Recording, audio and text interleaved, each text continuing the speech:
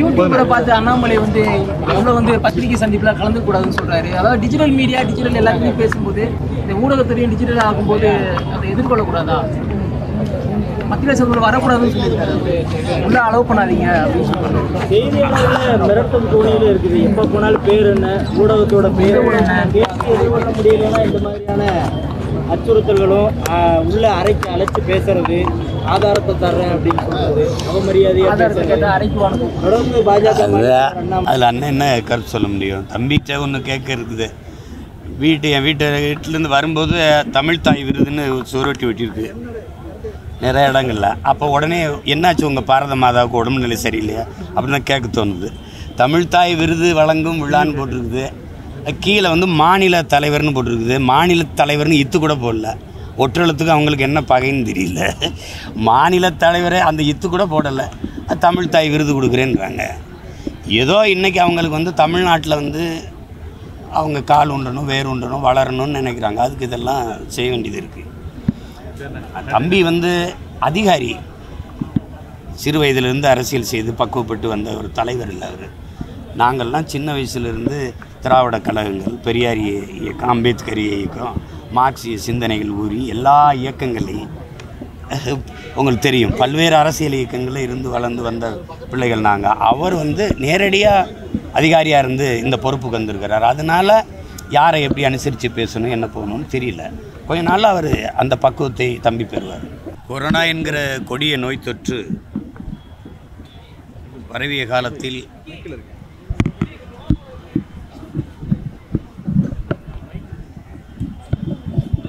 அரசு மருத்துவர்களும் செவிலியர்களும் தெய்வத்தைப் போலவும் தேவதைகள் போலவும் இந்த மக்களுக்கும் இந்த ஆட்சியாளர்களுக்கும் தெரிந்தார்.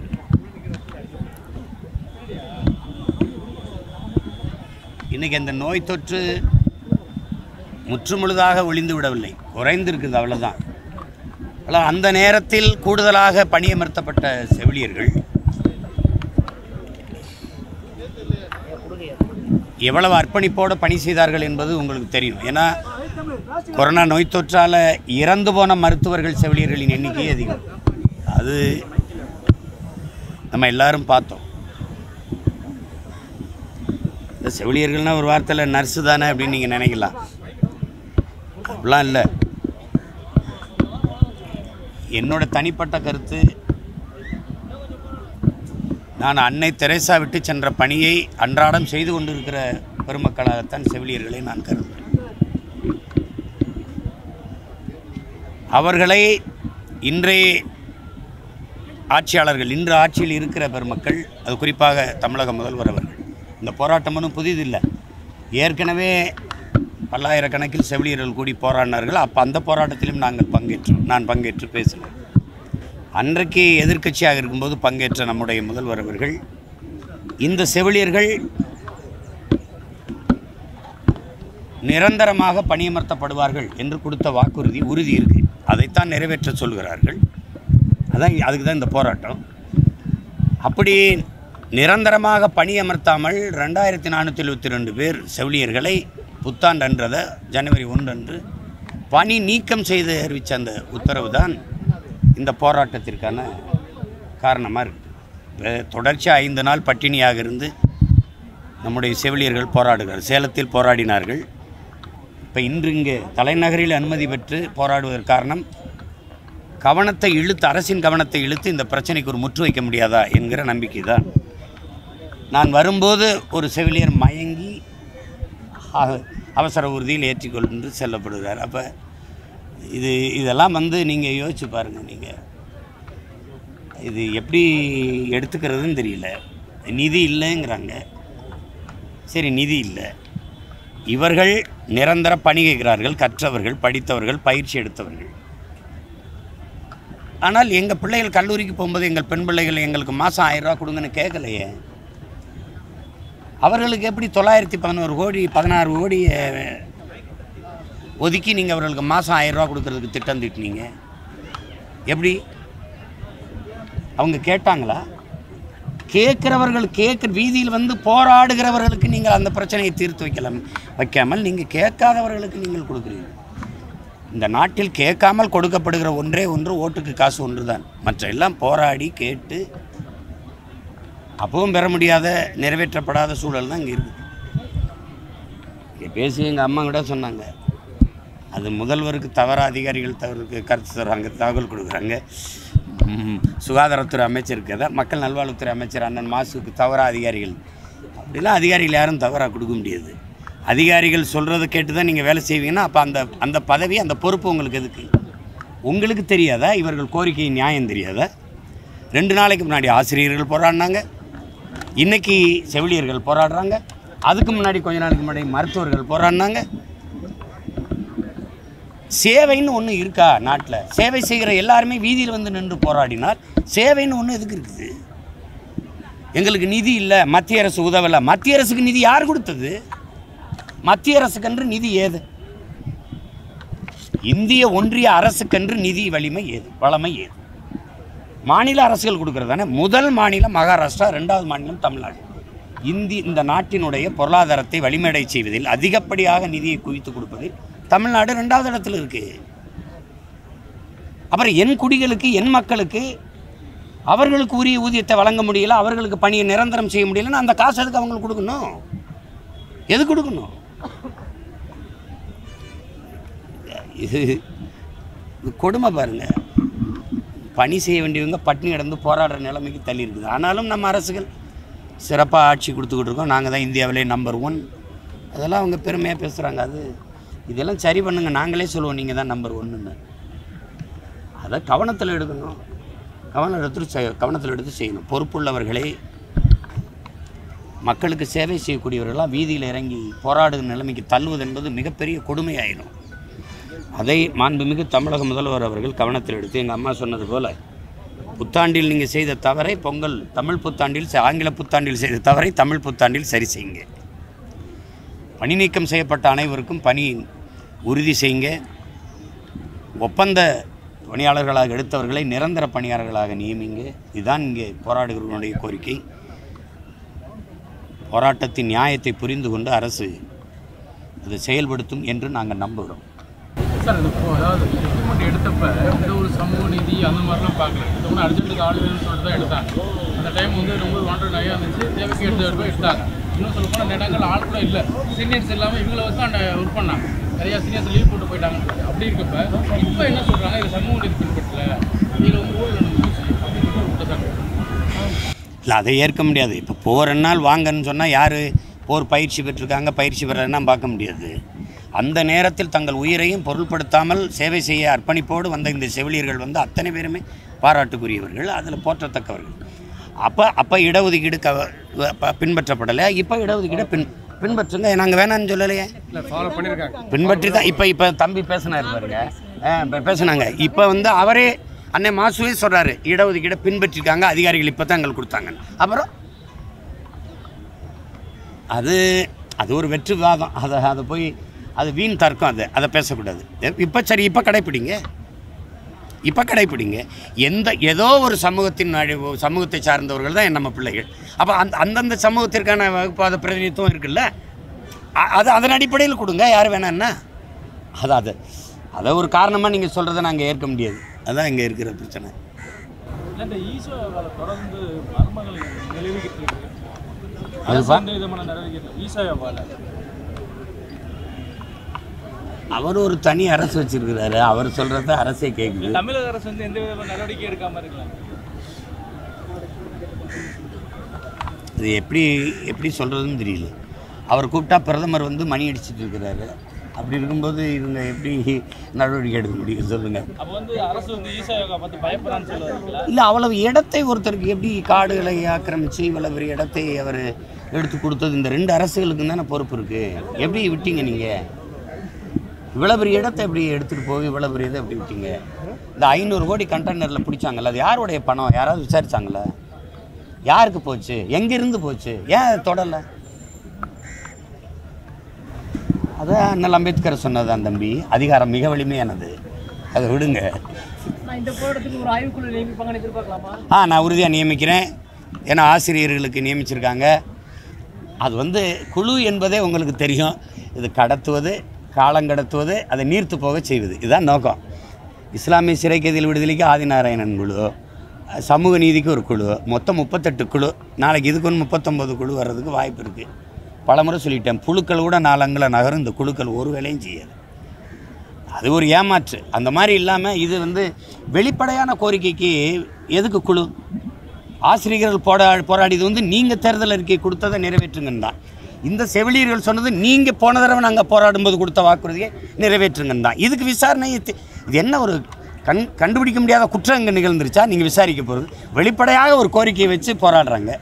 அது ஏ அது அது ஏற்கத்தக்கது. அப்படின்னே ஏற்றுக்கிட்டு அதை செயல்படுத்தணும். அவ்வளோதானே இதுக்கு எதுக்கு குழு? இதை செயல்படுத்துவாங்கன்னு நம்புவோம்.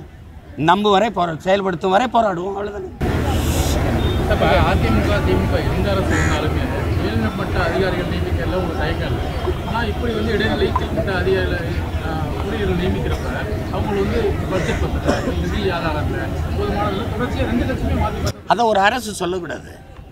நிதி ஆதாரம் இல்லைன்னு சொல்லக்கூடாது. நீங்கள் ஆறு லட்சத்தி ஐம்பதாயிரம் கோடி கடன் அது எப்படி வந்ததுன்னு சொல்லணும். அந்த காசை வாங்கி என்ன செய்தீர்கள்னு சொல்லணும். மருத்துவர்களுக்கு ஆசிரியர்களுக்கு செவிலியர்களுக்கே காசு கொடுக்க காசு இல்லை அப்படின்னா நிதி இல்லைன்னா அப்போ அரசு திவாலாயிருச்சான்னு இது அரசே இல்லைன்னு தானே அர்த்தம். ஐம்பதனாயிரம் கோடிக்கு மது விற்று என்ன பண்ணுறீங்க அந்த காசை வச்சு என்ன பண்ணுறீங்க ஒரு ஐயாயிரம் கோடி இலவசம் கொடுப்பீங்களா? ஐயாயிரம் கோடி மக்களுக்கு இந்த எ, மிக்ஸி கிரைண்டரு மின் விசிறி இதை கொடுப்பீங்களா? மீதி எல்லாம்? ஒரு ஆண்டு ஒன்றுக்கு ஐம்பதனாயிரம் கோடி. அது என்ன பண்ணுறீங்க அது இதெல்லாம் ஒரு ஒரு எப்படி சொல்கிறது நம்ம ஊரில் சொல்லுவாங்கல்ல ஒரு ஒரு சாக்கு சொல்லி தப்பிக்கிறது. அது ஏற்க முடியாது. எட்டாயிரம் பேர் பணியமர்த்தணும் சொல்லிட்டு கோரிக்கை வச்சிருந்தோம் எல்லாருக்கும் அழைப்பு கொடுத்துருந்தோம் ஆனால் வந்தது வந்து ஒரு ரெண்டாயிரத்தி ஐநூறு பேர் தான் வந்தாங்க. மூணு லட்சம் தான் வேலையை பார்த்தோம் அப்போ. இப்போ வந்து இது ஒரு தவறு அவரும் இல்லையே. சரி வந்தவங்களுக்கு தானே பணி நிரந்தரம் கேட்குறாங்க வந்தவர்களில் ஏன் ரெண்டாயிரத்தி நானூற்றி தொண்ணூற்றி ரெண்டு பேரை நீக்கினீங்க இப்போ? வந்தவங்கள எதுக்கு நீக்கினீங்க? எட்டாயிரம் பேரை நீங்கள் கூப்பிட்டீங்க. எட்டாயிரம் பேர் வரலை. சரி வரலை. ஆனால் வந்தவங்களை நிரந்தரப்படுத்தலாம்ல? அன்னைக்கு நீங்கள்லாம் உயிருக்கு பயந்துக்கிட்டு இருக்கும்போது உயிருக்கு துணிஞ்சு சேவை செய்ய வந்த வந்த செவிலியர்களை நீங்கள் என்ன மதிப்பு கொடுத்துருக்கிறீங்க? இப்போ மறுபடியும் கொரோனா வரணுமா உங்களுக்கு? வந்தால் யாரை கூப்பிடுவீங்க? யாரை கூப்பிடுவீங்க? அதை யோசிச்சு பார்க்கணும் எந்த தனியார் மருத்துவமனை தம்பி நம்ம கொரோனா நோயாளிகளை சேர்த்து அவங்களுக்கு மருத்துவம் கொடுத்துச்சு? அன்னைக்கு அரசு மருத்துவமனையும் அரசு மருத்துவர்களும் செவிலியர்களும் உங்களுக்கு எப்படி தெரிஞ்சாங்க? இன்னைக்கு எப்படி தெரியுறாங்க? இன்றைக்கி தேவையற்றவர்கள் இன்னைக்கு உங்களுக்கு அவங்கெல்லாம் தேவை தேவையில்லாத போராடுகிறவர்கள் இவர்களுடைய தே சேவை தேவைப்படலை இப்போ உங்களுக்கு. அப்போ மறுபடியும் கொரோனா வரணும். இதெல்லாம் ஒரு கொடிய மனப்போக்கு.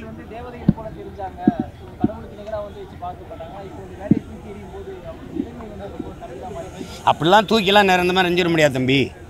எந்த அரசும் எந்த அதிகாரமும் நிரந்தரம் ஒன்றும் கிடையாது. புரியுதா உங்களுக்கு? இந்த போராட்ட கோரிக்கை நிரந்தரமானது. அது இன்னைக்கு இல்லை இந்த அரசு ஒன்று இன்னொரு அரசு வந்தால் அது செஞ்சிட போகுது. அவ்வளோதானே அது அது கொஞ்சம் பொறுத்துருங்க. அப்புறம் பார்ப்போம். சொல்லுங்கள் தமிழக அரசு தொடர்ந்து வந்து அவுட் சோர்சிங் முறையில் தான் ஆள் எடுத்துக்கிட்டாங்க பர்மனண்டாகவே பின்னாடி இப்போ கார்பரேஷனும் சரி இதுலேயும் சரி. ஸோ எல்லாத்துக்குமே அவுட் சோர்சிங்காக தான் போகிறோம் ஸோ பர்மனெண்ட் அது நீண்ட காலமாக அது நடக்குது. ஏன்னாப்பா சாலை துப்புரவு பணியாளர்லேருந்து இந்த மாதிரி எல்லாருமே ஒப்பந்த கூலிகளாக தான் எடுக்கிறாங்க. பேருந்து ஓட்டுநர் நடத்துனர் காவ இந்த அரசு மருத்துவர் பேராசிரியர் பெருமக்கள் ஆசிரியர் பெருமக்கள் செவிலியர் எல்லாரும். காரணம் வந்து அதான். நிரந்தர பணி ஆக்கிட்டோன்னா அவங்க ஓய்வு பெறும்போது நான் ஓய்வூதியம் கொடுக்கணும். ஓய்வூதியம் கொடுக்க என்கிட்ட காசு இல்லை. அதனால் ஐம்பத்தெட்டு வயசில் ஓய்வு பெறக்கூடிய அரசு ஊழியர்களை நான் ஐம்பத்தொம்பது ஆகிறேன் அப்புறம் அறுபது ஆகிறேன் நீட்டிச்சுக்கிட்டே போகிறேன் ஆனால் வேலை இல்லாமல் பல லட்சம் பேர் வெளியில் நிற்கிறான் இவங்க ஐம்பத்தி எட்டில் ஓய்வு பெற்றால் அந்த அந்த அவன் உள்ளே வந்துடுவான் வேலைக்கு. அவனும் வேலை இல்லாமல் வெளியே நிற்கிறான் இவங்களுக்கு ஓய்வூதியம் கொடுக்க காசு இல்லாமல் நீட்டிச்சுக்கிட்டே போகிறோம் அப்போ எங்கே அந்த காசெல்லாம்? நான் திரும்ப திரும்ப கேட்குறேன் ஆறு லட்சத்தி ஐம்பதாயிரம் கோடி கடன்ங்கிறீங்க. எந்தெந்த துறைகளில் எவ்வளவு கடன்? இவ்வளவு இழப்பு எப்படி வந்ததுன்னு ஒரு வெள்ளை அறிக்கை. ஆறு லட்சத்தி ஐம்பதாயிரம் கோடி கடன் அறிக்கை கொடுத்த பயன் இல்லை. எதுனா போக்குவரத்து துறையில் இவ்வளவு மின்துறையில் இவ்வளவு அப்போ அது அதை அது அது அந்த அந்த காசெல்லாம் இங்கே போ. மருத்துவத்துறைக்கு நீங்கள் ஒதுக்குனீங்கல்ல? அது செவிலியர்களுக்கு ஊதியம் கொடுக்க முடியாதா? கல்விக்குன்னு ஒதுக்குனீங்கல்ல அதில் ஆசிரியருக்கு சம்பளம் கொடுக்க முடியாதா? இப்போ நிரந்தர பணியாளர்கள் எடுக்கிறதுல இருக்க சிக்கல் ஓய்வு பெறும்போது ஓய்வூதியம் கொடுக்க முடியாது. அதனால ஒப்பந்தம். இப்போ ஒப்பந்தமாக எங்கள் மருத்துவர் எடுக்கிறோம் இவர் உரிமைக்காக என்னை நிரந்தர பணியாக்குன்னு போகிறான்னா இவர் தள்ளிடுது இப்போ செவிலியர் எப்படி ரெண்டாயிரத்தி நானூற்றி எழுபத்தி ரெண்டு தள்ளினாங்களோ அப்போ மறுபடியும் என்ன பண்ணுவாங்கன்னா புதிய ஒப்பந்தத்தில் எடுப்பாங்க. வேறவர்கள் வேலை இல்லாமல் நிறைய பேர் இருக்கிறதுனால அவங்க உள்ளே வருவாங்க. அப்போ அவங்க உரிமைக்காக இங்கே நிரந்தர பணியாளராக போராடும் போது அவங்கள தள்ளிவிட்டு மறுபடியும் எடுப்பாங்க. இதுதான் நடக்குது. இது அவங்க வாக்குறுதியா இல்லையா? நான் நான் அண்ணன் கேட்குறது சொல்கிறேன் முந்நூற்றி பதினொன்று அப்படின்னு அந்த தேர்தல் விதியில் அந்த எண்ணிக்கையில் எண்ணில் ஆசிரியர்களுக்கான ஊதிய உயர்வு நிரந்தர பணி அது கொடுத்துருக்காங்களா இல்லையா? அது நிறைவேற்றலை. இந்த செவிலியருக்கு இதே போராட்டம் அது எங்கே நடந்தது மாதிரி முன்னாடி? இல்லை இல்லை இங்கே. நடந்தது. அங்கே நாங்கள் நாங்கள் மருத்துவரெல்லாம் பங்கேற்றோம். அந்த போராட்டத்தில் கொடுத்த வாக்குறுதி தான் இது. அதை நிறைவேற்றலை இல்லை? இப்போ எத்தனை சொல்லிக்கிட்டே வரணும் இது எண்பது விழுக்காட்டில் வருதா இல்லையா? யூடியூப்ல பார்த்து அண்ணாமலை வந்து அவ்வளோ வந்து பத்திரிகை சந்திப்புல கலந்து கூடாதுன்னு சொல்றாரு. அதாவது டிஜிட்டல் மீடியா டிஜிட்டல் எல்லாத்தையும் பேசும்போது இந்த ஊடகத்துறையும் டிஜிட்டல் ஆகும்போது அதை எதிர்கொள்ளக்கூடாதா? பத்திரிகை சந்திப்பில் வரக்கூடாதுன்னு சொல்லியிருக்காரு. உள்ள அலோவ் பண்ணாதீங்க செய்தியாளர்கள் மிரட்டும் தோணியில இருக்குது. எப்ப போனாலும் பேர் என்ன ஊடகத்தோட பேர் என்ன எதிர்கொள்ள முடியலன்னா இந்த மாதிரியான அச்சுறுத்தல்களும் உள்ள அறைக்கு அழைச்சு பேசுறது ஆதாரத்தை தர்றேன் அப்படின்னு சொல்றது அவமரியாதையா ஆதாரத்தை பேசுறது. கேட்டால் அறைக்கு வாங்க. தொடர்ந்து பாஜக அதில் அண்ணன் என்ன கருத்து சொல்ல முடியும்? தம்பிச்சா ஒன்று கேட்க இருக்குது. வீட்டு என் வீட்டு வீட்டிலேருந்து வரும்போது தமிழ் தாய் விருதுன்னு சுவரொட்டி வெட்டியிருக்கு. நிறைய இடங்கள்ல. அப்போ உடனே என்னாச்சு உங்கள் பாரத மாதாவுக்கு உடம்பு நிலை சரியில்லையா? அப்படின்னு தான் கேட்க தோணுது. தமிழ்தாய் விருது வழங்கும் விழான்னு போட்டிருக்குது. கீழே வந்து மாநில தலைவர்னு போட்டிருக்குது. மாநில தலைவர்னு இத்து கூட போடல. ஒற்றெழுத்துக்கு அவங்களுக்கு என்ன பகைன்னு தெரியல. மாநில தலைவரே அந்த இத்து கூட போடலை. தமிழ்தாய் விருது கொடுக்குறேன்றாங்க. ஏதோ இன்றைக்கி அவங்களுக்கு வந்து தமிழ்நாட்டில் வந்து அவங்க கால் உண்டணும் வேர் உண்டணும் வளரணும்னு நினைக்கிறாங்க. அதுக்கு இதெல்லாம் செய்ய வேண்டியது இருக்குது தம்பி வந்து அதிகாரி. சிறு வயதிலிருந்து அரசியல் செய்து பக்குவப்பட்டு வந்த ஒரு தலைவர் இல்லை அவர். நாங்கள்லாம் சின்ன வயசுலேருந்து திராவிட கழகங்கள் பெரியார் இயக்கம் அம்பேத்கர் இயக்கம் மார்க்சிய சிந்தனைகள் ஊறி எல்லா இயக்கங்களையும் உங்களுக்கு தெரியும். பல்வேறு அரசியல் இயக்கங்களில் இருந்து வளர்ந்து வந்த பிள்ளைகள் நாங்கள் அவர் வந்து நேரடியாக அதிகாரியாக இருந்து இந்த பொறுப்புக்கு வந்திருக்கிறார். அதனால் யாரை எப்படி அனுசரித்து பேசணும் என்ன போகணும்னு தெரியல. கொஞ்ச நாளில் அவர் அந்த பக்குவத்தை தம்பி பெறுவார். அதனால் அதை பெருசு பண்ண வேண்டாம்.